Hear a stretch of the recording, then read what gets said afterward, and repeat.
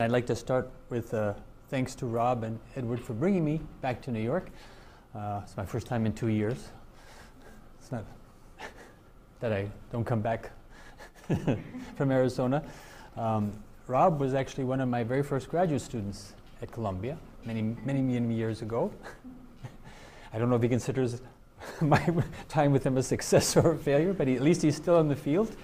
And, and uh, a word about librarians. I mean, I, I, um, I came to appreciate librarians and the whole uh, book world uh, very early in my career, and I'm very proud that as president, past president of the Association of Slavic Studies, whatever the, the new name is that I can't remember myself, and recent president, that we have finally have a, a, prize for librarians at our annual convention now, uh, because I think.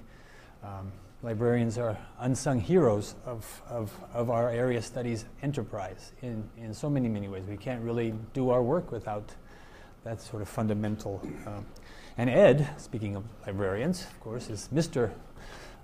Slavic librarian and, and was a teacher for all of us in many ways, um, not only by keeping the New York Public Library collections so magnificently up to date and, and comprehensive, but also by as long as I was in New York, sending me notes of things he found he thought I might be able to use. Uh, so thank you, Ed. Thank you, Rob, for this. It's also good to see old friends, Carol, Kathy, Gulnar, from my Columbia days. And I'd just like to maybe start. I, I, I, uh, I've been living in Elizabeth Valkenier's apartment for the last week, whom I know you met last week. And she had David Engerman's book lying around. Um, so I read it, which I hadn't done before. I mean, I was actually one of the interviewees for his project. At, at great length, he interviewed me and several times. Um, but I had never read the finished product, so I, I um, wanted to know what you, what background you had, and uh, now I do. I read it backwards, strangely enough. I started with the last chapter and went forward. don't, don't ask me why I did that. I must have had some strange reason. And I kind of feel like I'm a multi decade veteran of area studies. I definitely am a person who, you know, if you go by the categories that he sets up in there, have been closer to area studies than to my professional discipline, which is history. Um, not that I haven't been chair of the history department here and chair of the history department at Arizona State now. Uh, so I, I don't neglect other fields of history, but I um, have rarely been to the meetings of the American Historical Association in my career. Um, and that's partly because at some point I realized A, they were meat markets for poor, starving graduate students and assistant professors looking for better jobs. Um, and this, that's our, high, our sort of height of hiring period, and it's really an unpleasant sensation. The other thing is that it's so dominated by Americanists that there were very rarely more than three or four panels that dealt with Europe in general and Eastern Europe more specifically. So I, I didn't find it particularly, and, and, you know, for all their talk of global and comparative and blah, blah, blah, blah, they didn't really figure out a way to include us in there, even when there were people from the Russian East European history field in the leadership of the AHA. So my preferred organizations have been the uh, um, what used to be called the American Association for the Advancement of Slavic Studies, which is now the Association for Slavic, East European, and Eurasian Studies, and I better know that topic since I, title since I helped create it. Um, and uh, the other, if, if I have another association that I'm uh, very active in, or was active in while I lived in New York, it's the Association for the Study of Nationalities, which um, has a very strong Columbia connection and continues to have its annual conventions here as well. Um, and, and, especially since I got more interested in questions of empire and nationality, something, by the way, that David did not cover too much by his own admission. So I think I might try to spend some time talking about the place of, of the non Russians in um, area studies these days. so, so I am an area studies person, uh, most definitely, and I feel most at home uh, in, among area studies scholars.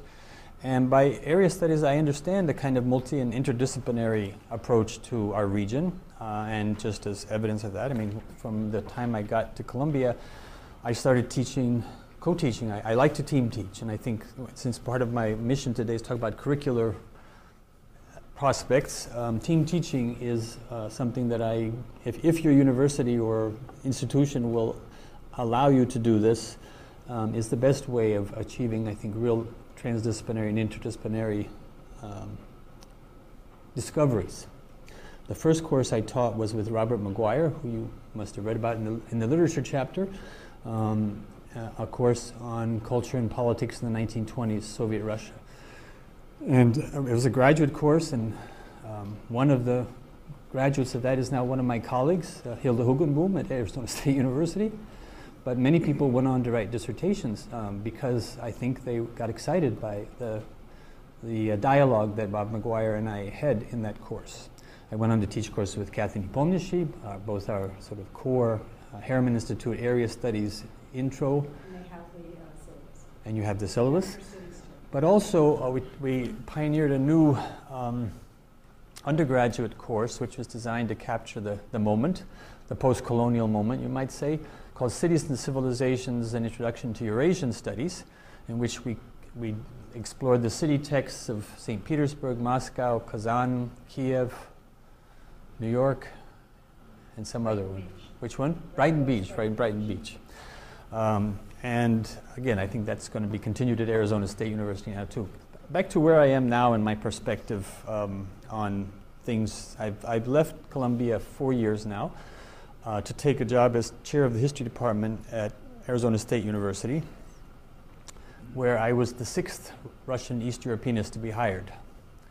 Uh, I came from University of Columbia, which for three years did not have a Russian East European historian, which is, is something we might talk about. Why is it that Columbia, um, a kind of bastion of Russian and East European history, was able to go for three years without hiring someone to replace me, Wortman, and our East Europeanists who didn't get tenure? The fact that Rob got hired, by the way, as Slavic bibliographer is another story of the state of Russian area, Russian East European area studies at Columbia.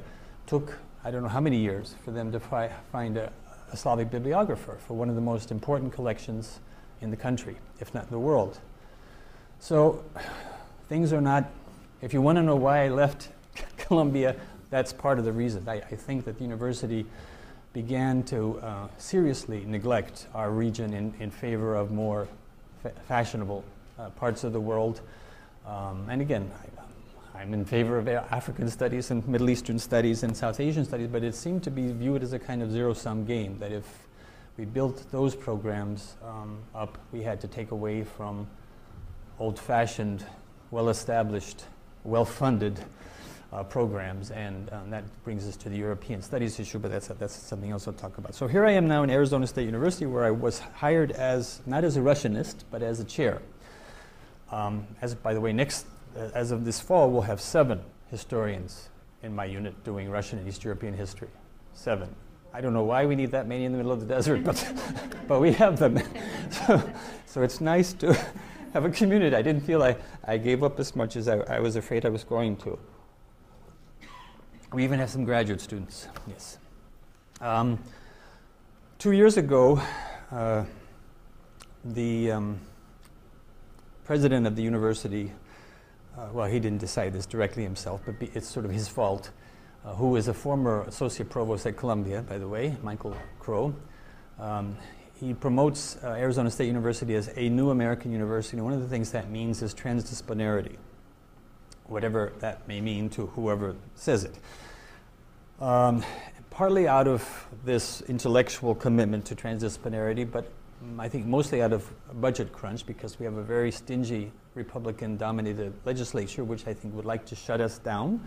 And certainly the humanities units in the university, they don't like. I think we're doing, I mean, actually, we've been um, compared by um, David Horowitz to Columbia for indoctrinating young minds with all sorts of leftist, feminist, multiculturalist ideologies. Arizona State University, believe it or not, yes, we are. We are Columbia of the desert. Um, so it gives you some sense of the political climate in which uh, we live. Um, we haven't, uh, so, uh, so, so two years ago, um, in the wisdom of the admin, upper administration, they decided that being chair of the history department was not enough of a challenge for me, so um, they decided to put religious studies and philosophy together with history in a school, of which I I wasn't even invited to be the director. I was just told I was the director. And because I was known to be such a trans, uh, sort of transdisciplinary or multidisciplinary person, I think I was called the, the transdisciplinary poster child, whatever that means. um, so I'm running this thing now, uh, sort of, trying to find ways of integrating what we do. And again, between history and religious studies, there's a lot that we have in common, um, primarily as hum, hum, humanists. Philosophy, you would think humanists too, but I, I really, we have a, a, a, department that's full of people who do something called philosophy of mind, which I only vaguely understand, even though I have to start writing tenure letters for these people soon. And then we have some feminist philosophers who I understand much better, and some political philosophers. But the sort of the main trend is this philosophy of the mind, and it's a very abstract, very inner-looking group. So I, but the, the point of this is that humanities at Arizona State, as I think is the case across the country, if not the world, because I, uh, I last fall went to Kiev, um, uh, not to Kiev, to Lviv, for the 10th anniversary conference celebration of something called the Международная Ассоциация Гуманитариев in Russian, uh, the International Association of Humanists, which was an ACLS. I mean, you, I think you heard from Andrzej Tymowski, probably told you a little bit about this initiative, an ACLS initiative to support human, humanities scholars in Russia, Belarus, and Ukraine. And I gave the keynote address, which was called Humanities Under Siege, Arizona slash Ukraine. And I told them stories about what was going on with us in Arizona. and the Ukrainians, Belarusians, and Russians couldn't believe it. They thought I was making all this up. I said, no, I think we're much closer in situation now than we've been in a long time. And that's uh, maybe a, a, a, message on which to start. I, I kind of feel that, uh, especially coming from Arizona these days, um, and, and, I'll tell you more about why that is the case, um, I, I, feel we are not in a position to teach our colleagues in Eastern Europe and Russia about the world, that we can learn together about a very difficult and challenging world as humanists, uh, social scientists uh, to some lesser degree. So that's one of my messages of humility for the future of area studies. I think it's always been key, uh, people who uh, don't have such a black and white view of the world, um, who, um, and again, the, the, story that Engerman tells, coming back to him, is, is one where we, we had voices of dissent to some of the more extreme positions that were articulated across the history of this field. I don't, you know, I, I think people like Cohen sometimes uh, exaggerated the, the totalitarian monster because the bigger the totalitarian monster, the more powerful you need a white knight to slay it, like Steve Cohen. And I am a good friend of Steve Cohen, and we've discussed many of these things many, many times. But I, you know, I think the, the, the best people in our field have always been ones who uh, had empathy toward the cultures they were studying, who were even enthusiasm about the cultures they were studying. Um, although we did have uh, probably a higher degree of Russia haters or East European haters than, say, the China field.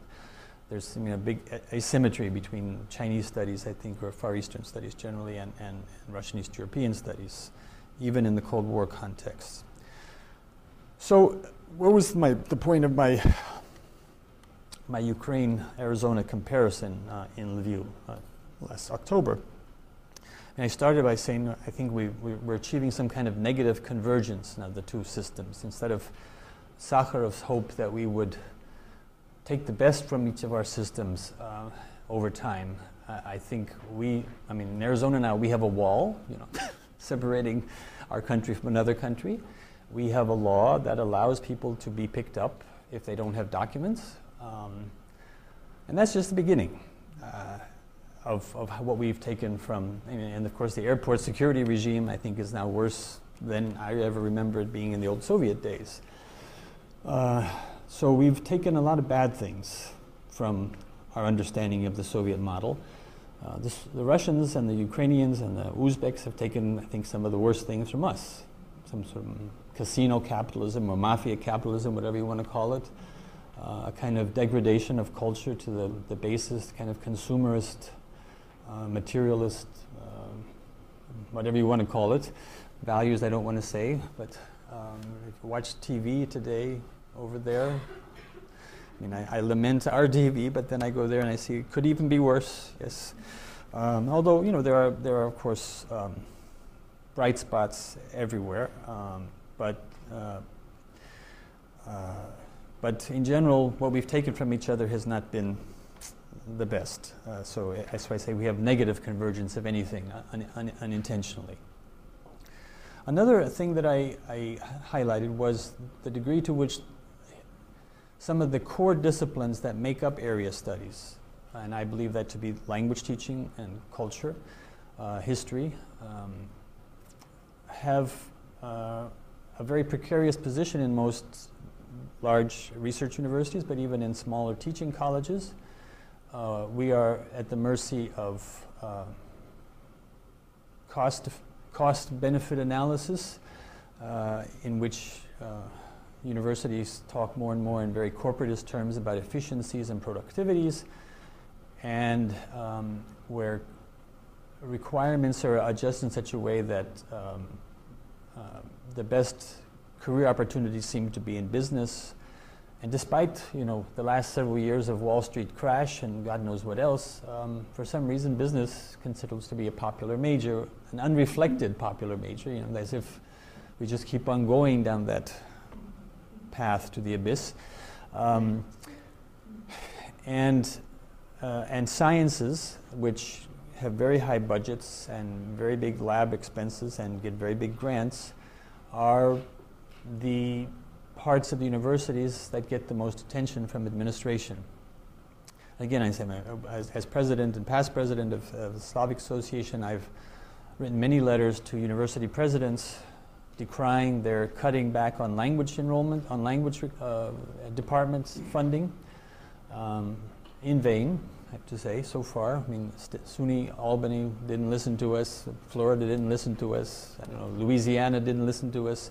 So they just keep cutting languages. And how America can think of itself as a world power uh, and continue to narrow the, the range of language proficiencies that our students and citizens uh, will command is beyond me, but that's a bigger problem. Uh, and in general, knowledge about the rest of the world. I mean, I, I really uh, think that area studies, I mean, most recently, it's under threat from uh, federal budget cuts. I mean, Title VI is pretty much wiped out now. All the, all the uh, money that came from the federal government through the Department of Education to support uh, regional study centers across the country, many of which you read about in the Engerman book, um, will be um, scrambling for new resources to keep going what they had going and also for, again, administrative attention. I mean, if they don't have even that money that they're bringing in now, um, I think administrators will say, well, we have to think even harder about whether we want to continue supporting this kind of expensive uh, multidisciplinary activity. Um, Title VIII is still, I think, holding on for dear life, so the National Council for Eurasian East European Research will uh, probably continue, although with Bob Huber's death recently, that's also um, up for grabs. I was, I was on the uh, board of the NCEEER when we replaced the old Toumanoff CIA administration with Bob. And I know how hard it was to find someone of his qualifications to take over this organization, and I think he's taken it in ways that um, we hadn't dreamed of. But but uh, that future for that is is also uh, up for grabs. So with the outside money um, not so generous as it was once was, and and with university administrations generally preferring other priorities um, that bring in big money. Um, again, knowledge about the rest of the world seems to be up for grabs at a time when we claim that we're sort of continuing to play a more enlightened and humble role in the world, but with less and less qualified people to do that. So that's again my uh, my perspective on from from Arizona that since I've left Columbia. Uh, besides the seven historians that we have uh, between history and religious studies, uh, we just hired, as I mentioned, um, a, a, recent, I mean, not, not so recent Columbia PhD uh, in Russian literature. We have a person doing Russian politics. We have a fairly distinguished economist of Russia, Joseph Brada. We have someone doing history of theater, history of music. Um, and then we have a, a, summer language program, the Critical Language Institute, which brings every summer to Arizona State University, God, God bless them, 150 students from all across the country with full fellowship to study 12 languages. And we hire teachers, among some of them coming from Columbia's uh, uh, instructor population, but also from Uzbekistan, from Tatarstan, from Armenia, from Georgia. So it's, it's really quite exciting time to be there in the summer if you can take the heat, which not everybody can. Um, so again, I, am encouraged by what uh, there is at Arizona State University as a kind of sign of the success of area studies. Um, that even out there, which wasn't one of the big title, we never had Title VI uh, center status there. Um, we do have we do have um, private money, uh, a, a, very lovely Armenian American couple, the Melikians, whose sons both went to Arizona State University, have endowed the Melikian Center uh, with a $2 million fund to, to promote knowledge about our region. And, and they're sort of Armenians who actually like Turkish studies and Persian studies instead of other kinds of Armenians we could name. You know, I know one of you is doing an Armenian project, so I don't have to explain anything to you. Um, but this is a very cosmopolitan Armenian couple, and they um, are very generous and very undemanding, uh, but very, very good to us. So we've got kind of a little side budget to, to bring in people and have conferences and collaborate with other units. Um, back to the question of team teaching, and again, this comes back to the question of humility. I think not everyone is prepared to be comfortable in a team teaching situation. It, it requires letting down some of your defenses um, because you're in the presence of someone who knows something, a lot about something that you don't know, and um, you're not sure that what you know covers up for that. and, and, yet, I, I, think both for students, uh, excitement and, and sense of what academic and intellectual exchange is all about, and for us faculty members, um, it's a wonderful opportunity, way to learn uh, materials that you or ideas that you have, have not had a chance to do so on your own. Um, I've taken this team teaching thing with me to in, uh, Arizona State too, uh, where it's a little harder to do because we're a state university and everything is kind of more carefully scrutinized in terms of budgets and how many students we have in our courses. But I've, uh, since I've been at Arizona State, I've taught one new course every year at the graduate level. Um, and they've all involved team teaching. One is called War and Revolution, in which I taught uh, together with our senior China, modern China specialist, who, I mean, I happen to be working for the last 15 years on the Russian, German, Austrian occupation of Ukraine and sort of the borderlands between Russia and Germany in World War I. He's been working on the Japanese occupation of China in World War II, so it's a very nice um, complementary. We actually learn from each other without even trying. And then the students, um, I think, also see that we're having fun with ideas and, and research and scholarship. And we had students from all walks of life, uh, some political scientists, some anthropologists, mostly historians, and not by, by, we can't afford to have a course just for Russian or Chinese historians at Arizona State. So, there, although there were some of those in the class, it was they were a minority, and we are appealing to um, students in American history or Latin American history or Middle East history. Uh, another course I taught was comparative colonialisms, and that was with uh, a very good friend of mine and colleague now who um, is a specialist on Southeast Asian history. So, kind of the British, French, Dutch, Japanese empires in Indonesia, Thailand, Philippines, um, Vietnam. We compared with Russians in Central Asia, Russians in the Caucasus, Russians in Ukraine. And it was really, again, the same thing. The Russianists were definitely minority, uh, as were the Southeast Asian specialists, and it was a, a, big class of graduate class 22, which included people who were not just historians and certainly not historians of our region. So that's another, um, I mean, again, it's a risk for the faculty above all, uh, who might be exposed as not knowing as much as they were supposed to know. But I, I, I think if you can get over that, and again, I, I think not everyone maybe is made to feel comfortable in those situations, but more people could be than I think currently are, and, and I do think it's, it's good ped- pedagogy. So team teaching uh, as part of this interdisciplinary or you know at least trans-regional, trans-regional approach. I haven't talked with anybody in, in literature yet, but Hilda and I are, are plotting something for the future.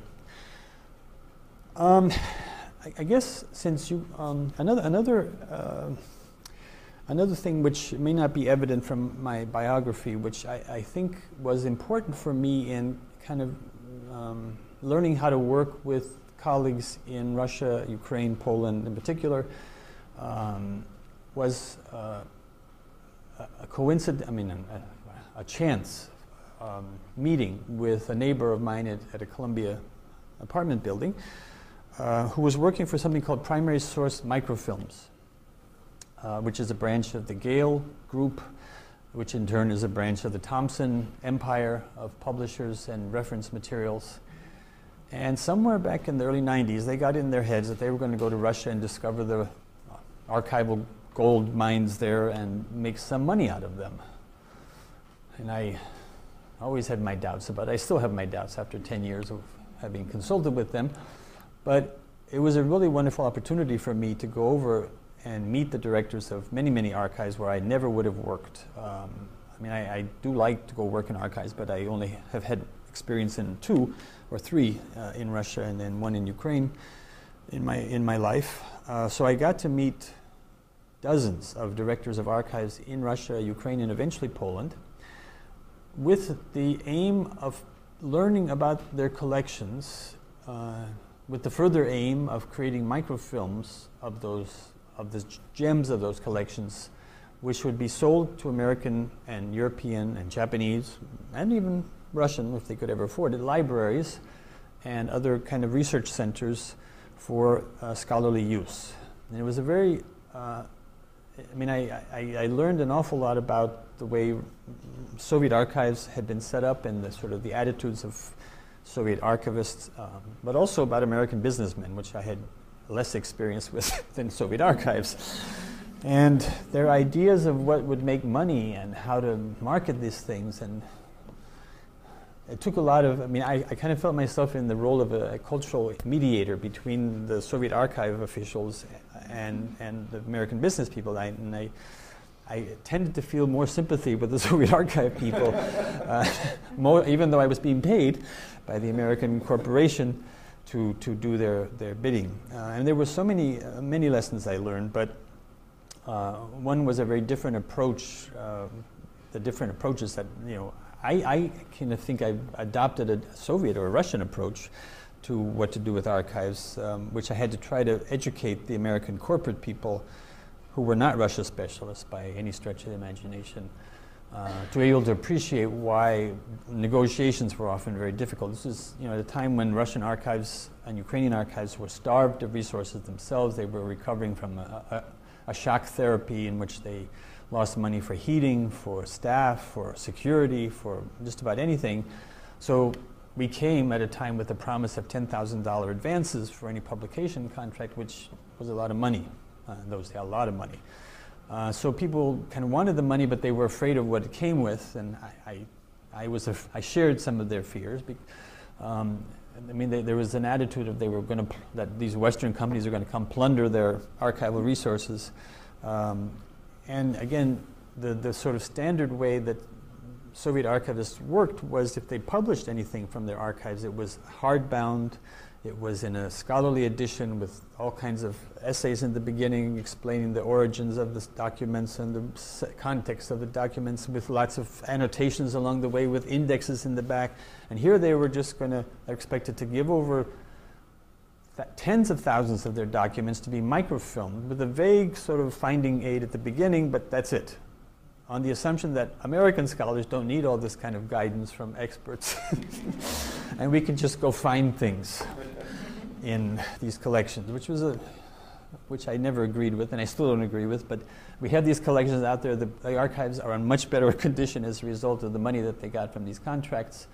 Um, I have great friends in the archival administration now, and if any of you need connections in any number of archives, I think I still know the directors well enough to get you in. But it was again, an experience in which you know, the arrogance of the American business people who, who knew nothing about the region. And, every, and then, of course, the other problem is that they would have a turnover and some kind of merger and acquisition every three years. So all the people who I had educated that time were gone and replaced by some new crew who knew even less than the last group. So it was a very frustrating thing, and, and they were frustrated by the Russians because the Russians were trying to be very careful. They, and, and you know, the Russians' archives are state archives, so they, they fall under federal law, and um, anything they do that's financial has to be cleared by any number of expertise. And, and the American side thought that was just you know typical Soviet totalitarian bureaucracy. And I said, mm, okay. Um, no, it wasn't uh, just that. Uh, I mean, sometimes it was that too, but most of the time it wasn't. I'd also like to um, talk about another, uh, I mean, these are somewhat unrelated and maybe too random associations for you, but I'll try to make it all make sense at some point. Um, my own IREX experience, uh, since IREX experiences seem to be an important part of this. Um, I, I, went uh, as a graduate student from Stanford University uh, with a dissertation topic, um, which became my book about kind of political education in the Red Army in the 1920s. Why did I come up with this? Many people ask me, why did I come up with this topic, especially Russian friends of mine? Um, and the idea was that uh, in the Red Army, um, the Bolsheviks confronted their peasant population.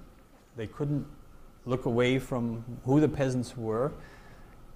And they wanted to use the army. And they thought the army, as a captive audience, would be a good place to turn these ill educated and sometimes illiterate peasants into at least Red Army soldiers, if not Soviet citizens, and maybe even Communist Party members. That was the, the big ambition. And they did a lot of work to do this. Uh, uh, and so it was kind of a study of education and culture in the army, above all, and the confrontation of, of Bolsheviks with their radical urban modernist vision and their overwhelmingly rural conscript population of peasants. so one of those eternal Russian history questions, peasants and elites and backwardness and modernity and all that sort of thing. Um, my main advisor, who you've read about in Engerman too, Alexander Dallin, tried to talk me out of this topic early on, saying that he thought it was too risky because the Red Army was headed by a certain Trotsky for most of the 1920s, or at least half the 1920s, and that that would get me in trouble. There would be no archives that would be open to me, about which he was right, um, and that I would just antagonize them. And if anything could have been done on this topic it would have been done by now by someone else. But I was stubborn, uh, and I, I, usually got along very well with Alex Dallin, and this wasn't, there wasn't a source of any conflict. I, I persisted, and I um, got my IREX thing. Uh, this was a particularly fraught time in U.S. Soviet relations. I think Reagan had was about to call it the empire of evil, and there was Afghanistan the Afghan war and, and relations were bad, and there were several calls for boycotting the exchange that year altogether. American scholars who wanted to boycott the exchange because of human rights violations, because of the war in Afghanistan. So those of us who were slotted to go that year were encouraged to find alternatives just in case things didn't work. So I had a Fulbright waiting for me also to go to Paris and Berlin in case Moscow didn't work out. Well, we, the first group of IREX uh, fellows were approved by the Soviet side, and six of us were not on the list, me being one of them. So we didn't hear another three months, and then finally in three months they said we might let von Hagen in and what two others, but um, we don't know if we can get him a visa in time. So I, I, I came two months later than the rest of the IREX group in the end because of um, holdups on the Soviet side. Um, and I, and again, I knew I was asking for trouble talking about the Red Army in the 1920s. Um, but, you know, figure what the hell, I could, we'll try it. I was supposed to go to Moscow for the year.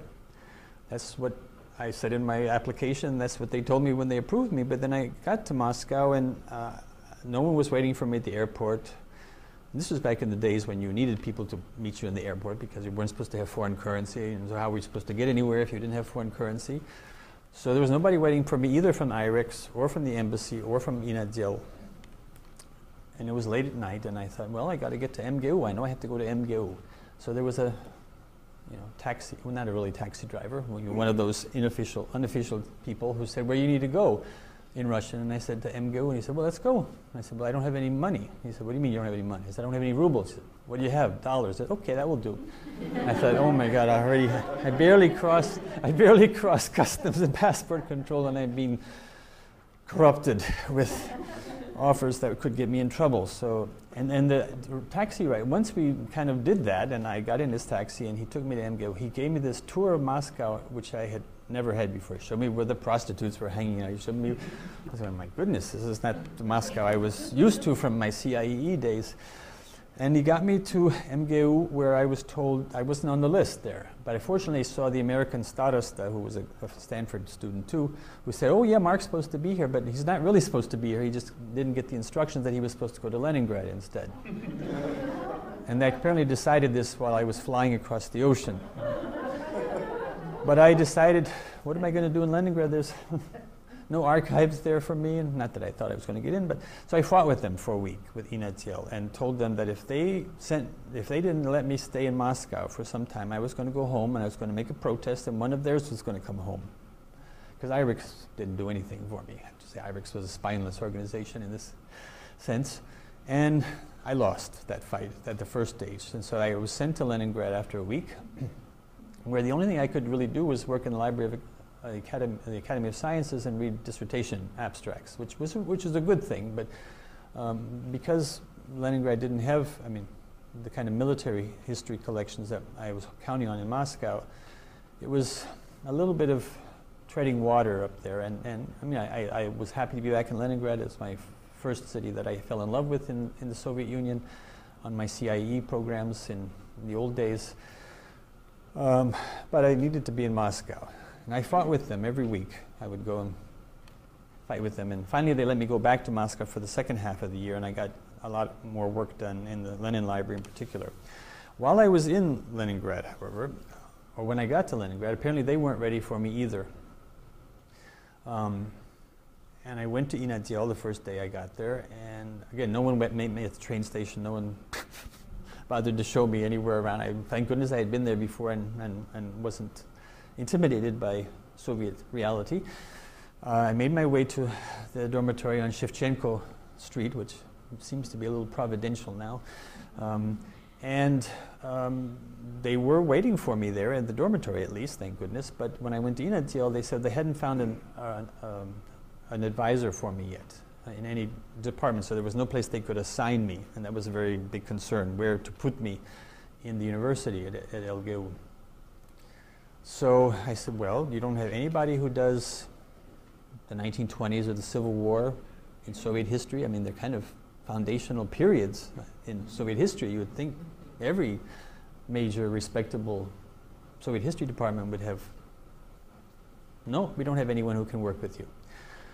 So they, they went through something called the История Советского общества department, which the history of Soviet society. Then they couldn't find anybody there who wanted to work with me. Then they moved to История KPSS, Communist Party of the Soviet Union, still in the history department, in the history faculty.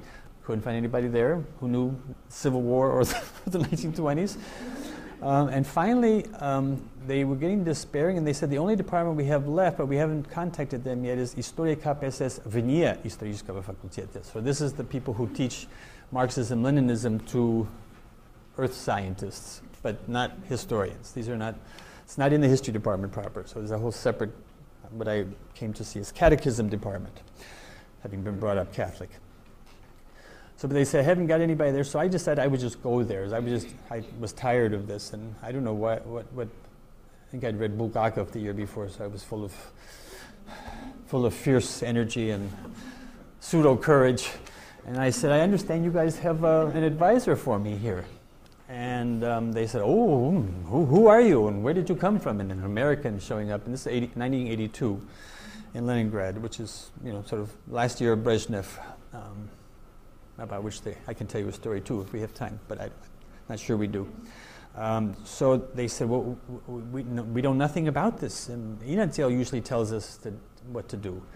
So I said, well, I, I, this is what I do, and I was told I was supposed to have an advisor here, and I was sent from Moscow because they didn't have any advisors there. So, um, so they said, well, come back tomorrow, but go see Inadziel first.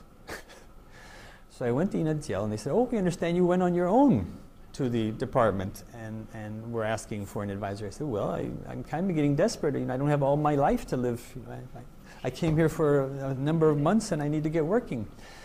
So they um, said, well, we did find someone for you. I said, good. And it's in that history of CPSU non-history department de- department and he actually works on the 1920s. He uh, writes books about uh, international workers' exchanges in the 1920s. And then they said to me in, in Russian, only one thing is we were a little worried about, on nizryachi. And I said, does that mean he's blind? And I said, yes. And they said, yes. And I said, hmm, a historian of the Communist Party who's blind. So, that was the beginning of my adventure in Leningrad. And, and this guy's name was Mikhail Sergeyevich Kuzmin. Uh, he was indeed blind since World War II when he had been a naval officer and, and according to his story, uh, was poisoned, alcohol poison in Port Arthur or somewhere in Manchuria at the end of the war and gave up his naval career and decided what could he do as a blind man? Could do history of the party. I, I, don't think he had any idea how how ironic that sounded to an American. but, but we got along well. But the, before, before we could go any further, he wanted me to write a historiographical essay about my topic so that he knew what I was doing and how he could help me. So I went to one of my Russian friends who was an ideological secretary in his local party cell, and he helped me translate my topic into sort of Sovietese. Became Politrabot of Krasnaya Army 1920s, which was what it was really about. It was political work in the Red Army. And that's, I, I hoped that that would be something, since they had books of documents published on that subject, I hoped that's something that would be um, both comprehensible and acceptable. So I went to back to Kuzmin, and he, in front of, we had, he didn't have his own office. We sat in the departmental office with all sorts of graduate students and young faculty walking past us. Well, he interrogated me about my essay. First, he said, um, you mention here peasant culture. And I'm wondering if you ever read Lenin on the peasants. I said, yes. And he said, no, what did Lenin say about the peasants? Well, there were the poor peasants and the middle peasants. So there's no peasant culture. This is a, a SR, a social revolutionary anthropological, bourgeois anthropological concept that you know, we don't recognize. I said, okay, so I right? And then he wanted to know why I hadn't mentioned Trotsky in my proposal, or any Trotskyists. As you know, there were Trotskyists running the Red Army in the beginning of the 20s. I said, I know, I know, but my advisor told me that it was best just to leave this out so as not to provoke anybody, antagonize anybody, and that you people, you know, kind of have sensitivities about Trotsky still. I said, nonsense. We have, at this university, we have a committee to fight right-wing deviationism uh, and Trotskyism. And uh, we have people who know a lot about Trotsky, and I, I would encourage you to go to this. And I said, okay. I never went. Um, but we became kind of friends over the, over the semester, and he actually tried to help, because it turns out that he had trained almost every party historian in Leningrad, people who were the directors of the museum at the Kazan Cathedral, the Atheism and Religion Museum, people at the party, at the October Revolution Museum in Leningrad. So he had people everywhere, Komsomol. He tried to get me into an archive, desperately, I think even he, with his, I think, probably solid Stalinist credentials, um, couldn't do anything for me in those days. And so I ended up never seeing an archive um, about the Red Army and, and relying entirely on, on, published sources, which, which for the 1920s was not such a problem as it would have been for later periods because in the 1920s the, the Bolsheviks were still very proud of what they were doing in the Red Army and, and published a lot about it. Ironically, in 1990, when uh, the archival world was changing, uh, I finally got into the Russian State Military Archive, which is the old Soviet Army archive. And the archivists who were there describing collections that they were just recently declassifying for the first time and didn't know about those collections asked me to help them describe the collections of the political administration of the Red Army. It was kind of a poetic justice, finally. And, and, and since then, I've been one of their, you know, favorite archival historians, and they bring me things I don't even ask for, which is, which is all good. Okay. So that's, that's my IREX story and how I, how I succeeded despite what I was told not to do by my advisors and IREX and all sorts of other people. Um,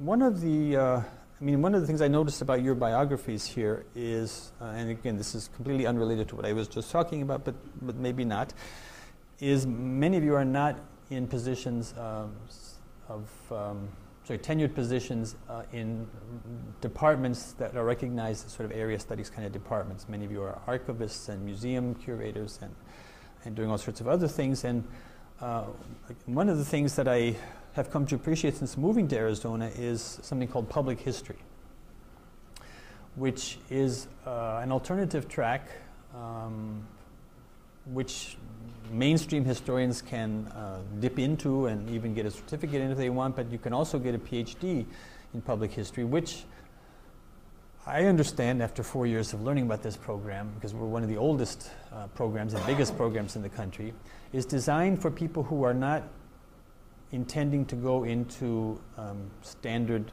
mainstream academic positions of teaching in research universities. Uh, so we are preparing people to work in archives, to work in museums, to work in historical societies, to be documentary film consultants, to be scholarly publishers even. We have a scholarly publishing program within the public history program. And again, coming from Columbia to Arizona State, um, I think I had colleagues in the history department who I would call public historians. Eric Foner, who works a lot with the National Park Service, or Ken Jackson, who ran the City Museum of New York for many years, who, who do take their own scholarly research and their scholarly background to a much bigger audience. And it's, it's a question of uh, you know, adjusting to a different audience than the academic audience. But I don't think either Ken Jackson or Eric Foner would ever call himself a public historian because that, for some reason, has some kind of bad odor among real historians, at least at Columbia. Of course, we didn't train our graduate students to do anything at Columbia in the realm of this sort of non academic career. And I think that's a, a, mistake. I think a lot of people who go into history might not want to be professors of history at Columbia or Arizona State for that matter, but might still want to do history. And, um, and, and that model of public history uh, is is one that, by the way, at least our university administration understands very well because it's kind of social impact, it's public outreach, it's community networking, all kinds of things which they like. Um, and it shows that scholars can talk to ordinary people about what they do with some use and impact and, and benefit. And I think, you know, so a lot of um, the AAASS, as it was, and now the ACES as it is, um, has been primarily focused on people in university positions. And, and again, the library thing took, took, I don't know how many years before we got a library prize um, in the history of the organization's existence. But it's, I mean, we have a lot of people doing area studies of one kind or another who are not in university positions, or at least not permanent university positions. So I think we might reach out to better. Uh, I mean, at, Columbia, we, we came up with a, a, master's in regional studies, which was in part designed to uh, reach out to these people and help them um, upgrade their skills uh, in the different disciplines with a two-year degree. That's a two-year degree, I think. Um, so we, I mean, there are initiatives like this, but I, I think um, uh, area studies needs to go in, in, in more in that direction. Okay, I think I'm still going to talk about the disciplinary issue briefly, and, I, and then Ed reminded me that I promised to talk about nationalities and non-Russians and things like that, and I will do that. Um, going back to Engerman's uh, treatment of, of things, um, I mean, I think in the case, one of I think our biggest problem in area studies frankly, has been political science as a discipline. And I don't mean all political scientists, um, but, uh, and I mean certain historically recent trends in political science, uh, the quantitative uh, rational choice um, taken to extreme um, view of the world that basically doesn't need to see the world or doesn't need to know much about the world, uh, but needs to know numbers. And, and the only sort of real problems that are worth studying are those that have numbers attached to them. Um, political science wasn't always that way. I mean, again, since I worked on civil military relations in the Red Army in my early days, um, a lot of the literature I read was political sociology or political science. Uh, and I, you know, when, when people in political science were kind of comparative historians at some remove, or at least that's the way we historians viewed them. And that changed. I, I, I wouldn't read most books that come out in political science because I couldn't understand them because I don't have the mathematical skills to go through all their graphs and charts. And I, and I also am not convinced that they're grappling with problems that I care about in the real world because they're all trying to test some kind of new thesis or hypothesis that is generated by some literature which has nothing to do with our part of the world. And I, the, I've tried to understand the roots of this problem because I started out as an international relations person as an undergraduate and took a lot of political science. And again, I say, I, I learned a lot from old, the older kind of political science and lamented their running away from us. Um, they claim, of course, that we become irrelevant because they're the, they're the ones who join the, the disciplinary mainstream um, but I, I, you know, I think wherever I look, and that's it's been reconfirmed at Arizona State, the discipline of political science has run away from the humanities, and uh, in whoring after economics, which I think um, they think is the more prestigious and more scientific uh, role model for the discipline. So that explains a lot of the statistics and the rational choice theory domination. Again, fortunately, at Arizona State University, we have a, a political science department that believes in qual qualitative methods, which I was very relieved to know, and, and actually thinks people should know about parts of the world uh, other than the United States. Uh, and again, this rational choice sort of thing works best on American politics, where American elections have been studied for you know decades now. Um, and you know we can study elections obviously in other places, but that hasn't always been the most reliable piece of evidence for understanding uh, a political system or a political economy. Besides political science, economics has kind of deserted area studies um, as they moved more fully into the handmaiden of Wall Street um, service. And uh, comparative economics and economic history are uh, rarities in economic departments. Uh, sometimes you would find them in a history department, sometimes uh, elsewhere. On the other hand, a couple of disciplines have re-emerged since the end of the Soviet Union and the Soviet era, um, which have somewhat made up the slack for the fleeing of, of, political science and economics. That's sociology, anthropology, and especially you find more work these days being done on political economy by anthropologists, who, by the way, share certain area studies prejudices with us, like you should learn the language, you might go live over there and um, get to know the people, even their contemporary forms, even if you're studying history. So I think anthropology has replaced political science, for at least historians, as our new social science ally, especially social cultural anthropology, but other, other kinds as well. And sociology too. I mean, uh, Engerman suggested that sociology was not completely dead in the Soviet Union or in the Eastern Bloc as, say, economics or political science and our understanding of them was. Um, and even uh, ethnography, even though it was not the same thing as anthropology, didn't take too long uh, to kind of adjust to uh, new standards after the Soviet Union or new paradigms and new um, international collaborative communities. So I think, you know, we we and one of the things that Engerman doesn't talk about is, is how sociology and, and anthropology have really come back full blown and where um, the, the, American Anthropological Association meetings have numerous panels every year dealing with our part of the world. Uh, and again, partly because they're dealing with identity and ethnicity and community and conflict and all those sorts of things, they, they find our part of the world um, highly productive for generating their own theoretical speculations about the their own theory within the discipline, uh, which political science seems to have not quite figured out how to do yet in the post-Soviet world. So again, I, I, I think you know we we're at a, stage, and again, I'm hoping that this sort of rational choice, overly quantitative fetishism of political science will dissipate with time, will wane, and there are signs of it that you know that, that fad has kind of reached its peak, and people want other kind of specialists in their political science departments than just these number crunching types. Um, but it's going to be a while, and, and it's and it's a, a kind of a matter of prestige now, and um, etc.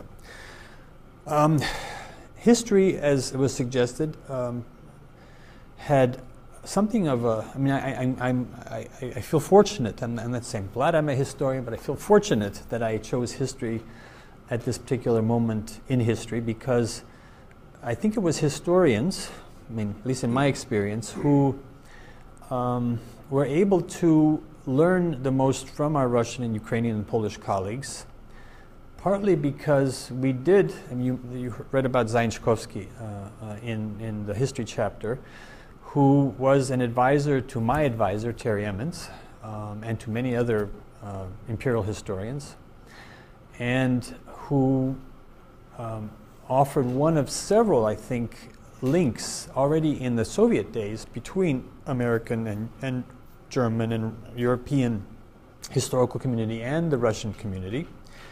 Uh, we read the same classics. We kind of thought about Russia in very similar ways. So when the end of the Soviet era came, um, it was much easier for historians across the borders to talk to one another. We didn't, and we did have, you know, all of our Western schools of historical thought in our heads from graduate school, but I don't think we ever were guilty of imposing Western models on our historical colleagues in Russia, U- Ukraine, Poland. Again, those are the three that I spend the most time in, so that's why I keep on saying them. It's not as if they're the only ones that matter.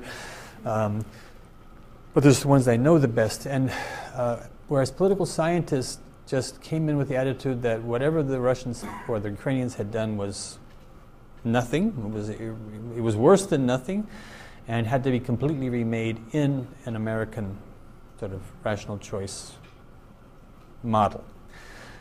And um, I, I, attended several summer schools in, in Russia, uh, mostly in provincial Russian cities, that brought together historians, political scientists, anthropologists, mostly native ones, but also ones from imported abroad, like me, to um, uh, sort of help um, sort of middle level Russian, Ukrainian, post-Soviet scholars and teachers raise their qualification levels uh, so they could get better pay when they went back to their universities or, or, or colleges. And um, the most productive uh, interchanges came from anthropologists and historians, uh, in my experience. And I think that, again, goes back to this question of, of, of, sort of humility, that we didn't assume we knew everything, that, that, that we had everything to teach the Russians and they had nothing to teach us. Um, and, and my publication record has been uh, you know, evidence of this. I, uh, one of my first co-edited books was um, um, called Kazan, Moscow, St. Petersburg, which uh, was done with scholars in St. Petersburg, Moscow, Kazan, Berkeley, Columbia, etc. Uh, another one was the Russian-Ukrainian volume, which also involved Russian, Ukrainian, Canadian Americans, German scholars.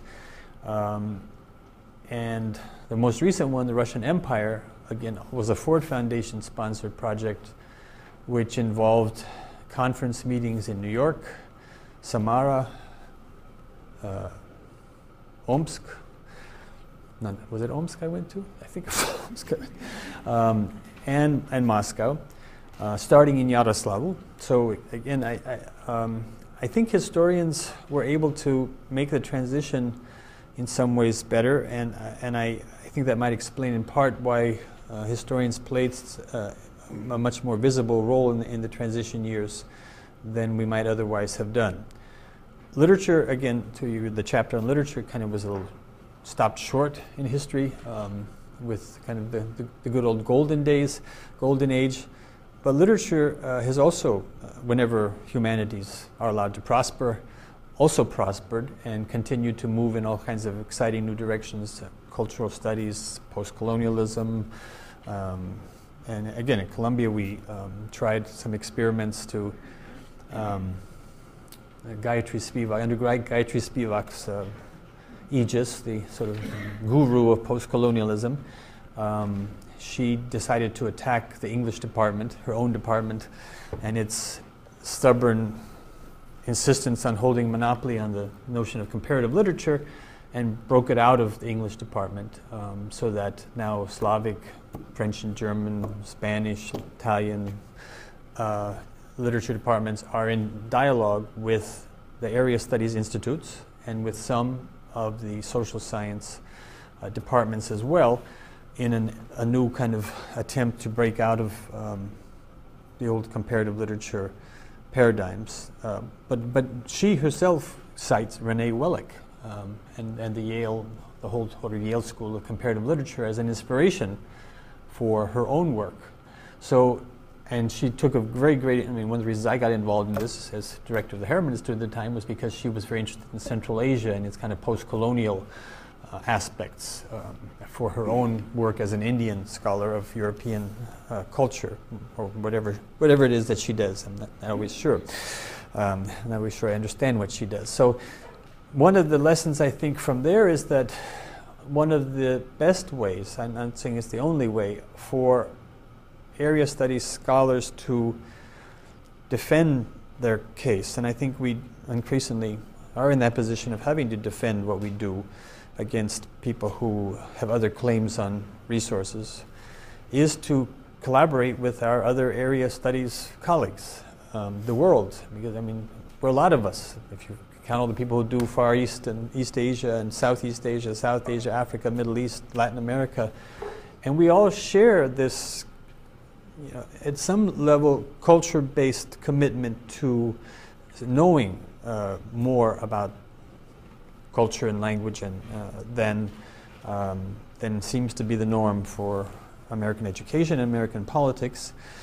And, um, and we can form strategic alliances, I think, that allow us to do maybe not the same things that we used to do, maybe some different things, but to keep doing some things um, that we value and, and that we share with more and more. people And again, one of the things about being the director of one of these schools that I never asked to be director of and never thought about having a school of history, philosophy, and religious studies is that I, I, I'm starting to understand better what we as humanists um, do share uh, in, as, as methods, as uh, sort of orientations to the world, towards students, toward teaching, towards research.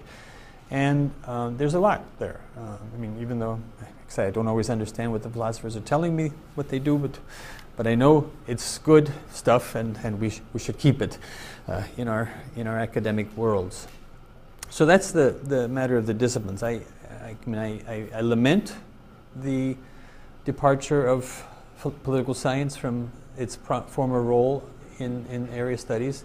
And really, you know, as at Columbia, I worked very closely with Bialer and Goldman, uh, Shulman and, and um, Legvold, and was on several PhD dissertations every year for political scientists. So I, it's not that I speak of this from some sort of you know, alien uh, world that knows nothing about what they do there. Uh, and I tried to you know, understand as best I could uh, what they did and why they were doing it. But I think there was a kind of sort of mob fad mentality that took them off in some unfortunate direction, which I, I hope they're coming back from slowly too. And again, we do have anthropology and sociology now, so, so we don't have to miss them too much uh, uh, if they don't want to come back to us.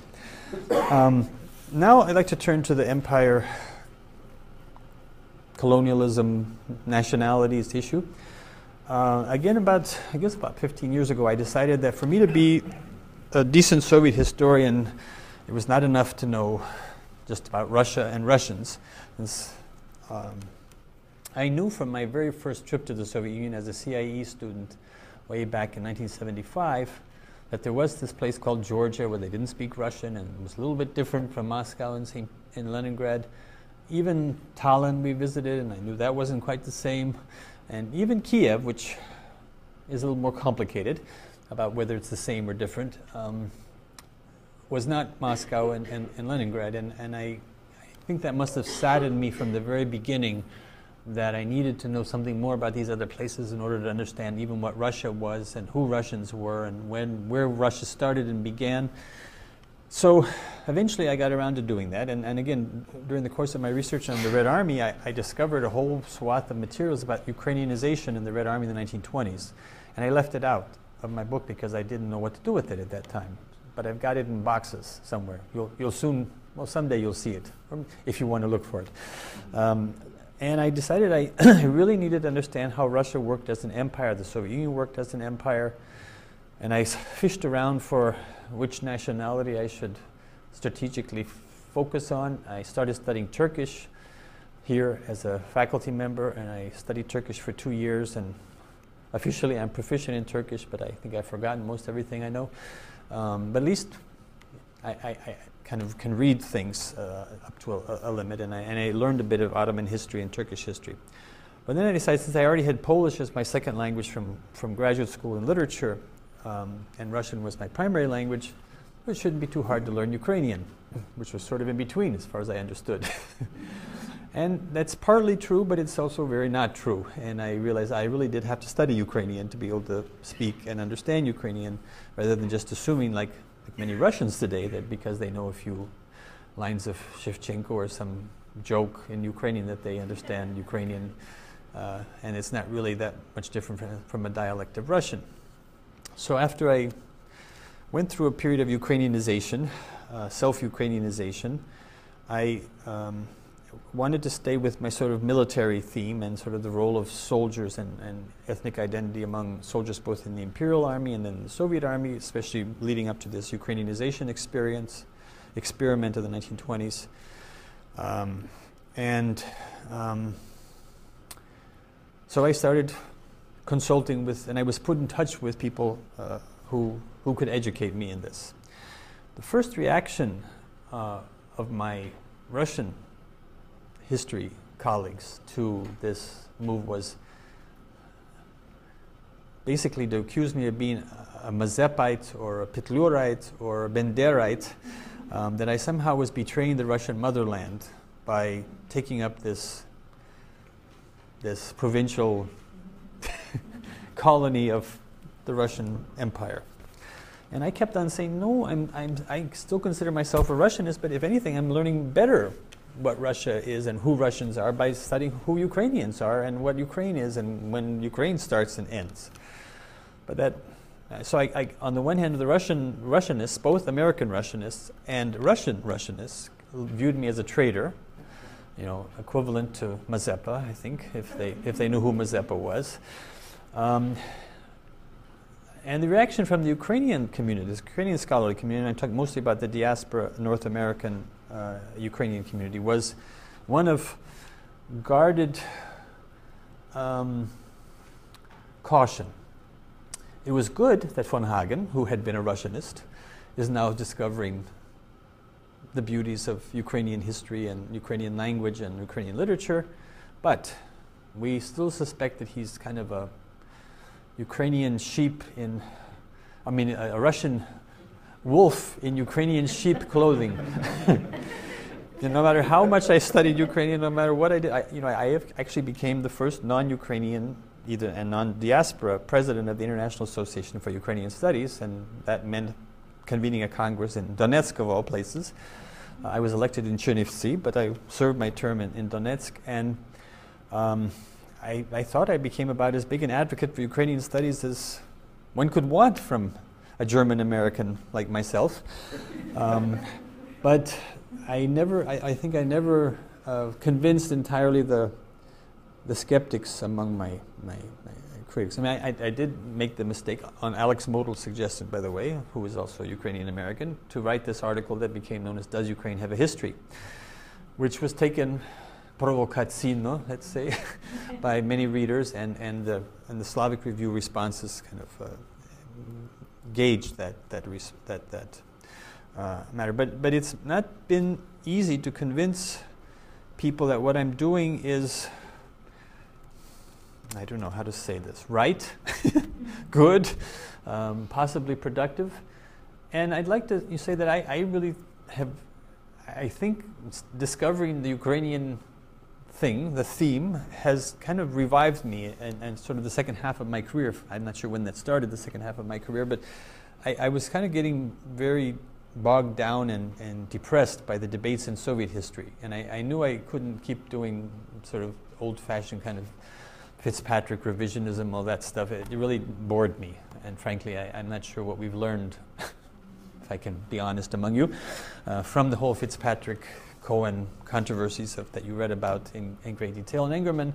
And I really think we, we kind of had a, a dead end uh, for a while. I mean, I, I think that's changed. I'm, I'm, very happy to say I read some new scholarship um, that I'm very excited about, including one of my own students, Jochen Hellbeck, who sort of discovered diaries and, and consciousness and subjectivity, and, and Anna Krylova, who's at Duke now tenured, uh, wrote a wonderful book about women in Soviet women in combat in World War II. Um, comes from a literature background, by the way, into history. So I, I, I think Soviet history has kind of discovered a new, a new set of uh, problematica, which, which has made it, again, uh, an exciting field and, and, in contact with uh, anthropology in, in particular. But for the, for, the, for, the, for a while, for a decade or two, I, I, I, didn't see a future for myself as a Soviet historian and felt that I needed to go back into the late imperial period, even to understand what I was trying to write about in the early Soviet period. And that wasn't, that wasn't a kind of normal uh, I was trained really to start thinking about history from 1917 on. I, I, had I did a master's thesis under Terry Emmons on the 1905 revolution, which is probably more than most Soviet historians do these days. But I really kind of focused most of my energy on, on, on the 20th century uh, post 1917. So I've been relearning my old graduate school literature on, on, on late 19th century and trying to rethink it through the prism of empire and nationality and ethnic identity and uh, colonialism as well. And it's been it's been quite an exciting adventure. And again, this um, coming back to this presidency of the International Association of Ukrainian Studies. Uh, again, that was that whole process that led to my becoming that was was very strange a kind of a cabal between members of the Ukrainian Academy of Sciences in Kiev who wanted to keep the association in their hands, and they ended up, in the end, keeping it in their hands, and a group of international Ukrainianists, largely Harvard and um, some German Ukrainianists, who wanted to break um, the hold of the Ukrainian Academy of Sciences in Kiev on the association and try to make it a more international, cosmopolitan, friendly uh, to the world association.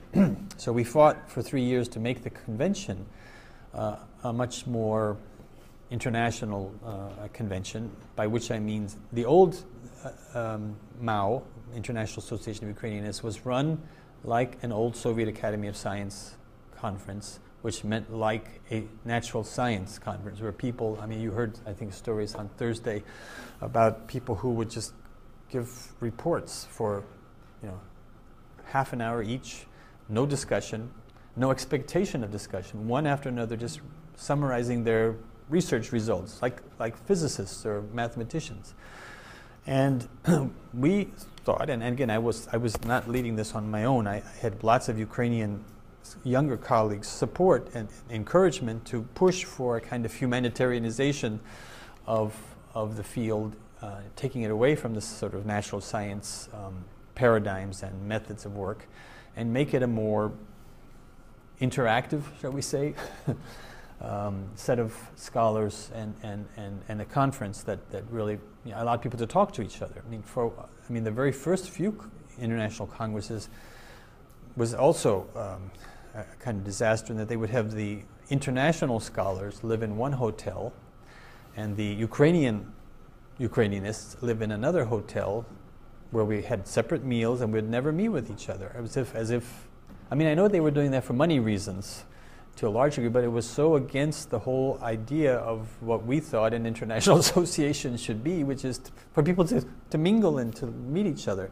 So we tried, and I, I think some of our reforms survived, but then the next year I was replaced by a Ukrainian physicist, of all things, astrophysicist. Seemed like a very nice man, but I'm not sure what he had to do with Ukrainian studies. And the, the, the succeeding Congress, which was supposed to be in Simferopol, didn't happen in Simferopol because they never got their act together until two months before the Congress was supposed to happen, a ma- major international Congress with a thousand participants from around the world. So they decided to have a last minute makeshift conference in Kiev, guess where? At the Academy of Sciences Sanatorium. So they got it back. And where the future of Ukrainian International Association is today, I don't know, but, but at least you know, I, I know that uh, there's a lot of support both in Russia and in Ukraine for thoroughgoing reform of the Academy of Science system, which I think is one of the major impediments to further um, international collaboration on our part because the way that the Academy of Sciences work. And again, I have friends who are in the Academy of Sciences in both Russia and, and Ukraine and, and, who are talented scholars, so it's not, uh, it's not a death sentence to be in the Academy of Sciences, but it's the whole um, ideological, cultural, educational operation that is the Academy of Sciences is something that has been less reformed, I think, than the KGB uh, or or the Orthodox Church, church which is another, another one of those resistant um, institutions. Um, again, this is, I'm not sure what we want to make a great deal of generalizations about this, but finally, Columbia hired somebody this year in history to replace me and Dick Wortman and, and Brad Abrams. And it's a um, German scholar of Turkish ethnicity, um, who wrote his dissertation on Lviv, Lvov, Lvov, not Lemberg. Well, I guess Lemberg too, because there was a German occupation. Uh, sort of during the immediate pre World War II, through World War II, and post World War II, sort of the Sovietization, Germanization of Lvov. So he's a Ukrainianist, even though he's a German of Turkish ancestry with a Princeton PhD. And he, what?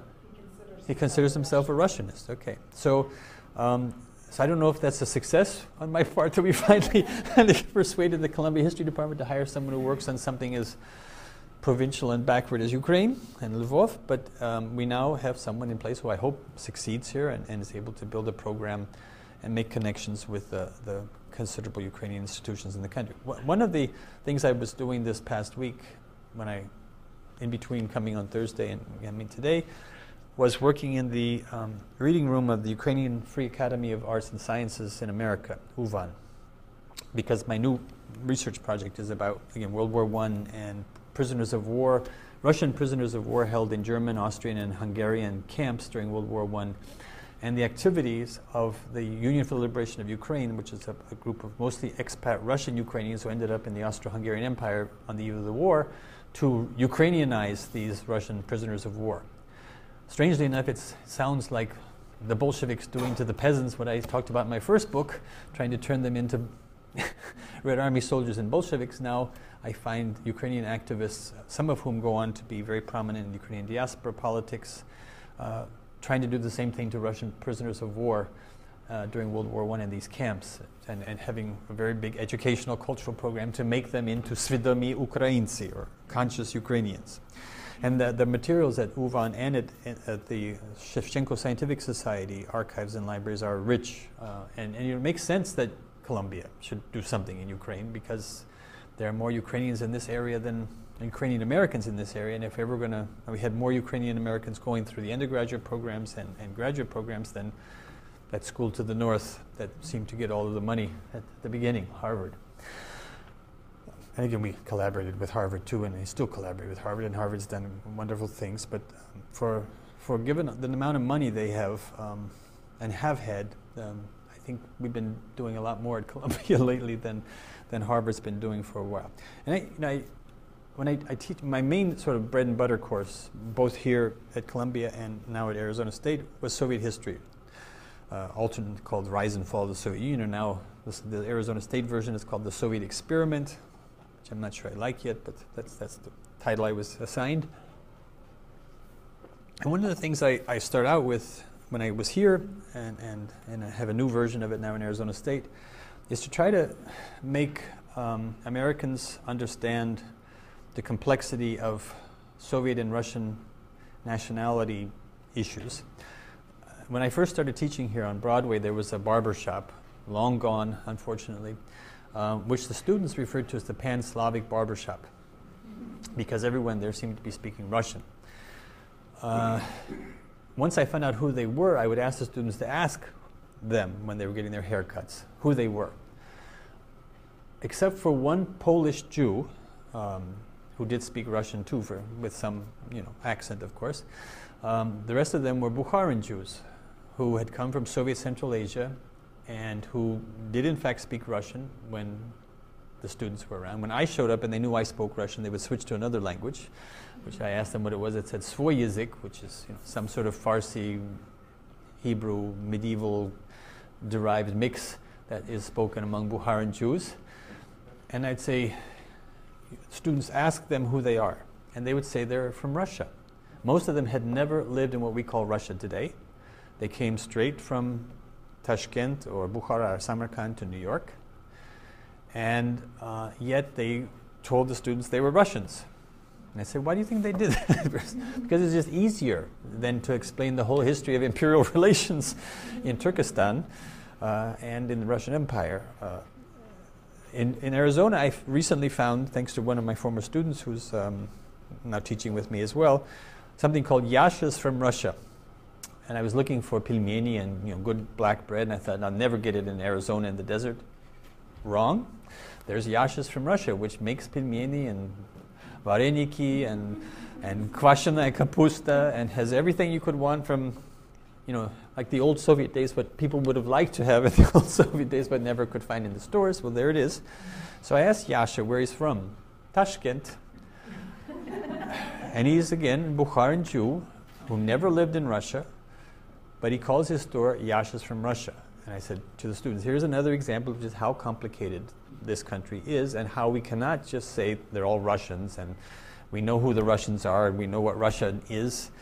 Uh, because that doesn't work in this country. And I, so I, so I, I use that as a, a, a kind of hook to, to, to, to be an excuse to explain the history of nationality politics and the changes in the different relationships between different na- nations uh, over, the, over the time. And um, I, I really think that's, uh, and again, if you do that approach, I, I have found it successful with American student audiences because um, first of all, I, even, even in Arizona State, about a fourth of my students, as was certainly true here at Columbia, were American Jews whose ancestors came from the Pale of Settlement. So I've learned Jewish history as a result of that in order to explain to them why their parents left or their ancestors left Russia or the Soviet Union. Uh, I still have students, even in Arizona today, who were born in the Soviet Union but brought up in this country and also want to know about the Soviet experience and why their parents would have left this place. And many of them are going back um, to see for themselves, which is a good thing. And then we have, you know, I have a sort of typical Poles and Lithuanians and Ukrainians in the class, Americans, Ukrainian Americans. So I, I, I think it's, it's, it's something that's a natural connect with uh, uh, both my Arizona students and certainly my Columbia students and one that is, is, that represents a kind of a legitimate achievement of our field that we have taken this kind of imperial turn and now appreciate nation and empire in, in ways that we, we didn't in the past, which I mean, I, I won't give you the, the details of all of my review essay here because you have had it to read yourself. Um, and again, I, I, think this is uh, coming back to the question of humility. Um, uh, it, it allows us to treat Russia in an, a universe of imperial states that makes it not so weird or peculiar or unusual. Um, because if you, again, when I teach comparative empires with the British Empire, the French Empire, and you know, we raise the question of is American empire? Has America ever been an empire? If, if and if so, what kind of an empire? Um, it uh, opens up a kind of discussion that wasn't possible before when it was just Russia as evil empire, you know, sort of the Reagan pipes era uh, version of it, in which empire is, is automatically a dirty word and a bad name. And um, we, the great nation of liberty here, even though we do have an Empire State Building, and this is the Empire State, so you wonder um, when did we have this sort of imperial moment that we liked empire uh, as part of our identity, and, and now, now we claim that we're the leading anti imperialists, or we used to, used to be the anti imperialists. So I, I think um, this is one way in which the field of Russian Eurasian studies has been able to position itself as a major player in our disciplines, history, anthropology, literature, um, by um, just opening our eyes in a different way than we used to open our eyes to what we study. Again, not everyone should be doing empires because there are plenty of things that happened in Russia and Ukraine and Poland that maybe had little to do with empire and nation, but not too many. I'm not sure that you can escape it too far. Uh, whatever your, whether it's intellectual history or cultural history or um, institutional history, that you, you can escape too far. Um, yeah, I think. I know I had a lot of more things to say, but I'm trying, trying to figure out where I'm going. So that's, that's kind of my, my odyssey uh, in, in some sort of lessons. I suppose I, I, I, feel after reading that Engerman book like I've met practically everybody who's featured in there, so I must be some kind of a veteran. I must have something to say to you all of what I've learned from having met these people and worked with them in many cases. Um, and I, I chose to do it through this kind of strange semi-autobiographical way so you can see how it's impacted me, uh, the, the people I worked with and the um, things I studied and chose to study and how I got there, and my relations with, uh, again, especially Russia, Ukraine, and Poland, which is where I spent the most time uh, in my career and where my language skills have been have given me the best um, opportunity to make um, to make some kind of well to have fun for one and to learn something I think uh, on the other side um, and I'll be happy to answer any kind of questions because I think it's probably time for me to stop and open up for that now too. And I'd, I'd like very much to hear your reaction to what, what you've been hearing uh, all this past two weeks, uh, since you've heard from many colleagues of mine who have been thinking hard about um, what to do with this strange thing known as area studies. And again, I, I, you know, one of the things I also tell my own administration is, you know, if you're interested in transdisciplinary studies, one of the sort of original, the UR trans, transdisciplinary studies was area studies. And, and we started it here at Columbia, at Harvard, back, back right after the war. Um, and now it's, for some reason, they don't want to consider us that, even though I, I, think, you know, we've been doing that kind of, if you read, you know, the, again, the, the accounts of, of, of Engerman, there were people who were in political science and, and, and um, economics who were reading novels, God forbid, and, and writing commentary on novels. and uh, learning from people who do literature and vice versa. And I, I don't think, you know, that's a bad thing. And I don't think we should let that go, um, despite all of the pressures of disciplinary specialization and professionalization. And um, I, I, think, you know, there's always going to be that tension between the disciplines and the departments on the one hand and, and area studies and, and people who look for other spaces for intellectual uh, stimulation and collaboration. So, so I'll stop there. Thank you.